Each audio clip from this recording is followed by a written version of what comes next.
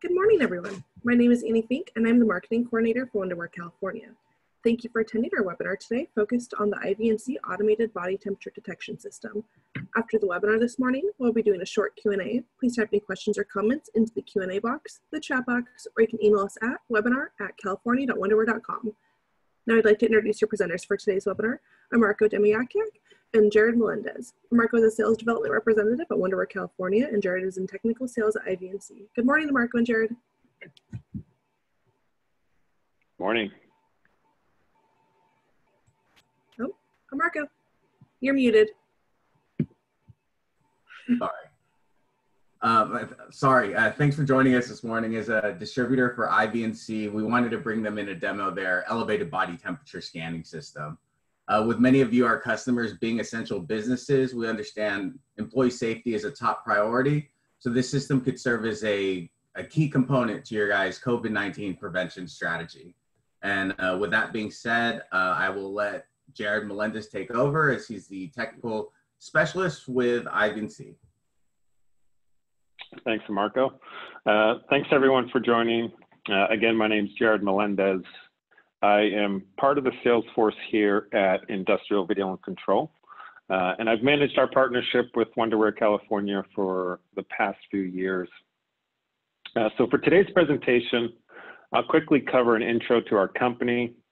I'll introduce our new ThermID product, which is our solution to aid in screening your screening process to bring workers back to work safely. I'll go over some of the product features and then I'll hand the presentation off to Rafael Bastidas, who is our chief video engineer, and he'll quickly go through a live demo of our ThermID system. Uh, we can then answer any of your questions. In total, this should take about 20 to 25 minutes. Uh, so a little bit about our company. We're headquartered just outside of Boston, Massachusetts, and have been engineering IP video solutions since 2001. Our core capabilities include manufacturing of industrial video cameras, development of our own video management software, and deep industrial video application expertise. As a camera manufacturer, we provide a full range of hardened video cameras, primarily for industrial type applications. Our VMS is a robust camera management software platform, which integrates heavily with SCADA and process control systems as needed. Uh, so the solution we're discussing today is a body temperature scanning system that can quickly identify individuals with an elevated body temperature. Uh, so what's our goal? Returning to work safely. We're presenting our solution to aid in the screening process to help slow the spread today and beyond across all industries. A big percentage of you may already have a need for this now, or a system like this may become part of your company's process going forward. I do want to be clear that monitoring the temperature of people entering your facility will not ensure workers will be safe, but it can be an effective first line of defense and should be viewed as part of your virus mitigation protocol, protecting employees and customers and, and minimizing virus transmission. Uh, so the system is designed to be used anywhere employees or visitors are entering an office, factory, store, restaurant, uh, transportation entryways, for instance, airlines are using these or any other type of facility. Uh, so we're positioning this as a complete turnkey system, easy to quickly deploy and move around to different entryways as needed. This is a contactless system that will ship with our ThermID camera, our VMS, a computer, and a mobile stand. As typically deployed, our system is non-invasive and can effectively estimate body temperatures from six to 10 feet away. Uh, it's easy to set up and will automatically scan all individuals within a defined field of view. Uh, this can operate as a standalone unattended system or be networked and centrally managed in a facility-wide or even company-wide monitoring program. Uh, so the system is designed, uh, so some of the, the two um, systems that we've, we've introduced. Uh, one is our pro version, the second is our commercial version. Uh, so functionally, both systems are the same.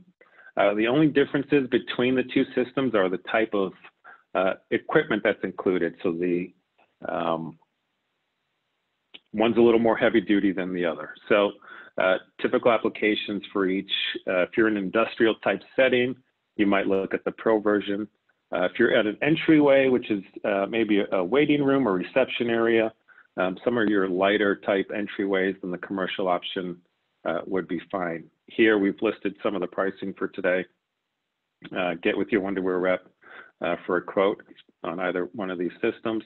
Uh, but I do want to do want to repeat that functionally both systems operate the same.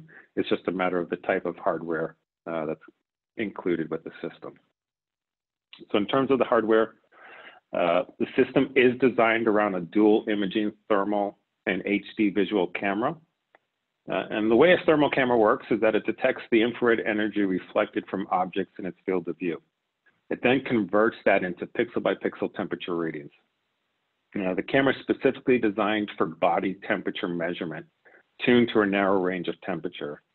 Uh, the camera does use facial detection software uh, to read areas of your face that have the highest correlation to an individual's core temperature, so areas such as your tear ducts, and it can provide temperature readings within an accuracy of half a degree Fahrenheit. Uh, so here's how it works. These are some of the items that we'll see in the live demo shortly. Uh, when a person enters the detection zone, their temperature is immediately calculated. Next, a thumbnail image of each individual and their temperature measurement appears in a scrolling bar in the display window. These snapshots are recorded and available for review. Individuals with temperatures in normal range are highlighted with a green border. Snapshots are taken along with their detected temperatures. Uh, this is displayed in both real-time and recorded images. You can at any point go back and view, see who's come in, see their temperature.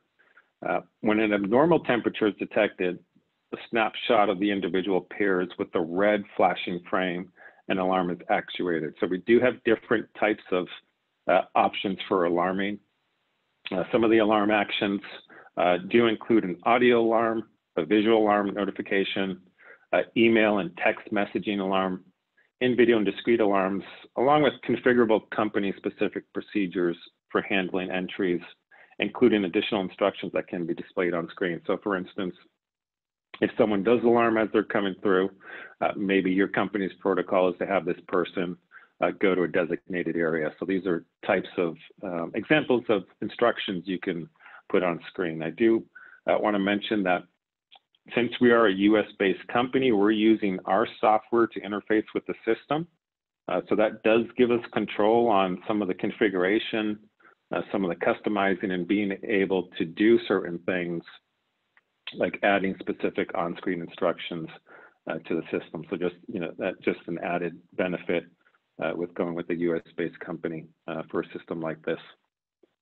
Uh, so with that, uh, Raphael, if you're ready, I'll hand it off to Rafael. He's going to do a live demo. We have a system set up in our manufacturing facility just outside of Boston. We do have some of the workers in the office, so they've um, happy enough to help us out today. We're lucky to have them. So uh, with that, Raphael, I'll hand it off to you, and we'll see the live demo. Hello, everyone. My name is Rafael Bastidas, and I'll be showing you the the demo of the system.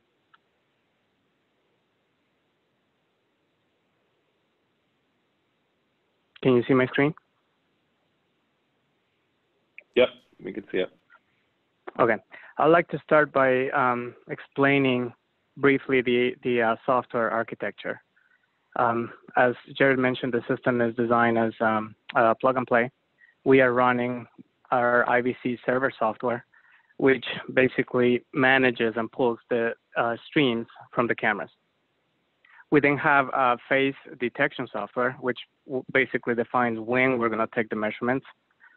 Um, then what you're seeing now is our view station software. This is the client software. Um, one of the important things here is that we um, are able to customize the views. Uh, this is a sample view that we have created, but the user is able to uh, each area on the screen can be defined as a, uh, a window with a different feature. And that feature can be live video, can be instructions, can be a button. Um, and we can customize this uh, per the user. Finally, we also run um, our watchdog software. And that is an important thing because we make sure that all the components put up correctly when the system starts. And we also can monitor if um, a certain piece of the software has to be uh, restarted. And we do that automatically. Uh, to explain what you're seeing on the screen, uh, on the left, you see the 1080p uh, live video from, from the live camera, day camera sensor. At the bottom, we are showing displaying the thermal camera. Um, the middle is basically so that you have a history of the detection. Uh, you can scroll down uh, and see what the, that history has been. Uh, if you notice at the bottom here, uh, we also are counting the scanned, the number of scans and the number of elevated temperatures. And on the right side, we're going to display um, either green or red, depending on the decision that the software makes based on the temperature. Now, we also, since um, uh, we are using our software, we can define the thresholds as far as the temperature goes. So we can define an area of the temperature where it's just a warning, and we, we can define another area above a certain threshold which we actually will alarm. And we can also um, just display the regular scans. So let me show you how the system, the system works.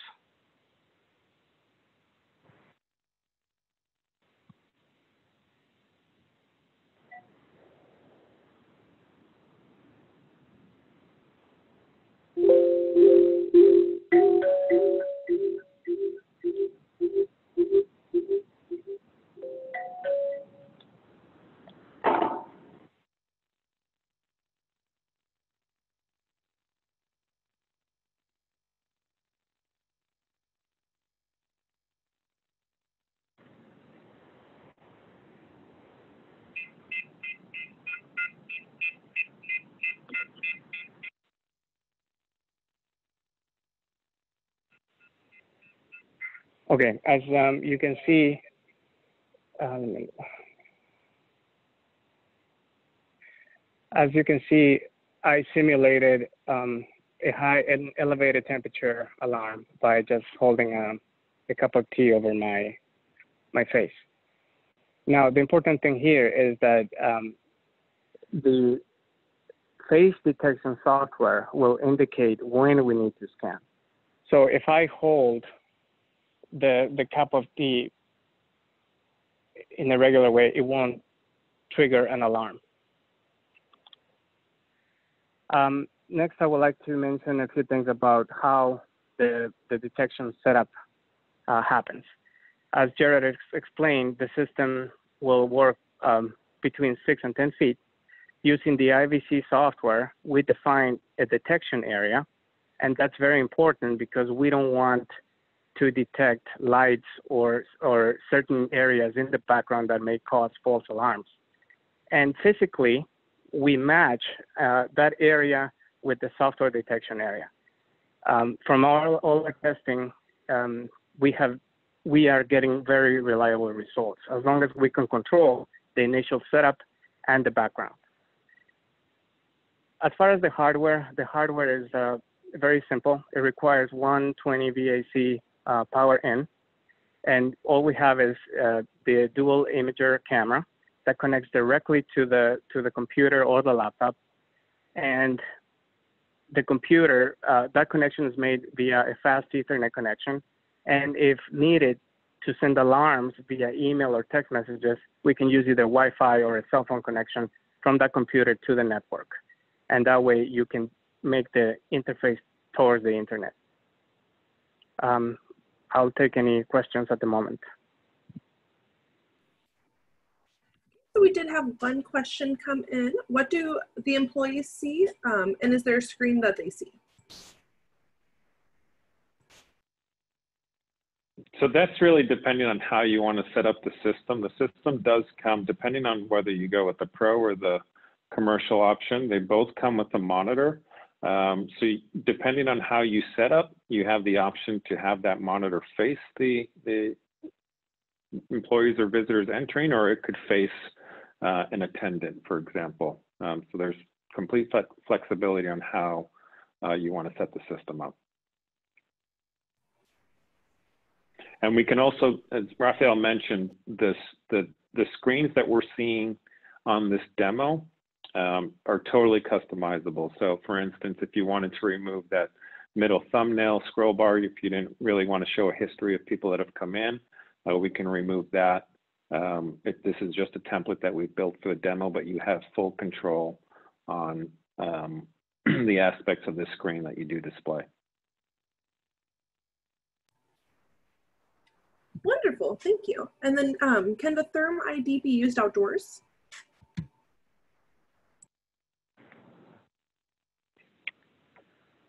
The um, uh, Therm ID. Go ahead, Rafa. Okay. The Therm ID hardware is um, not designed for outdoors. We have tested uh, this as the system outdoors. However, it's very difficult to control the background. So as long as you have something in place uh, to protect against the weather and the background is controlled, then you could use it. An example of that, some some folks have mentioned um, or in discussions of using this outdoors, you know, because we're, we're trying to mitigate the amount of, minimize the amount of false alarming we're getting. So when you're outdoors, uh, the, even if we do set that detection zone, um, just the variations in the background are, are going to create false alarms. So that's, you know, that's a reason why we're not uh, recommending this for outdoor use and we've tested it outdoors and we're not happy with the results. So uh, if we did have some type of controlled background, so someone has mentioned uh, maybe doing an entry tent or just some type of way to um, control that background, you know, that's something that could be further explored if it had to be uh, set up outside. Perfect. And then can you send alarms to an email address?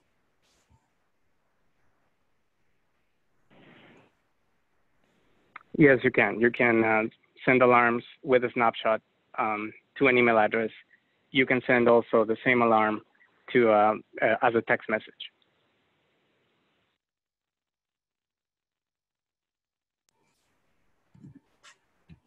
Perfect. And then can it connect to a network? Uh, you can connect to a network. Um, you can do it via, uh, it can be an Ethernet connection, um, Wi-Fi, the computer that we're offering uses 802.11ac, so both frequencies. And if needed, um, we can plug in a, uh, an LTE modem or a, or a USB modem for a cell phone connection. Perfect. And then if a person runs to the destination or arrives um, mid or after exercise, will that set off an alarm?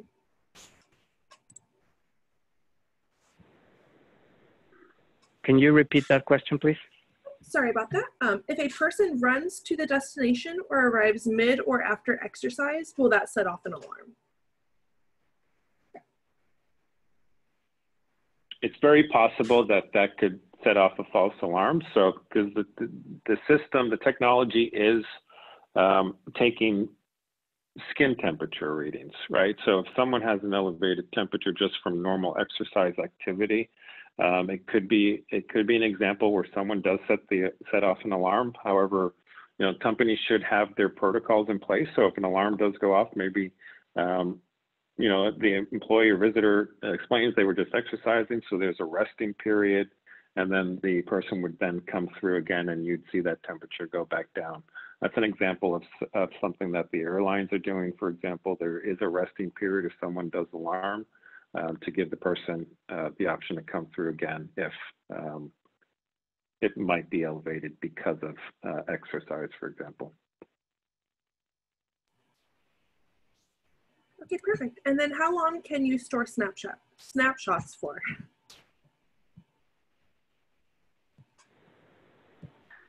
That depends on the hard drive that we uh, offer and we, we can include as much storage as needed.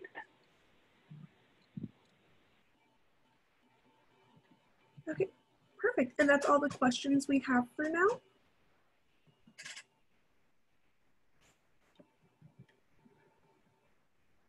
Okay, and then did we have any more demo um, before we wrap it up for the day?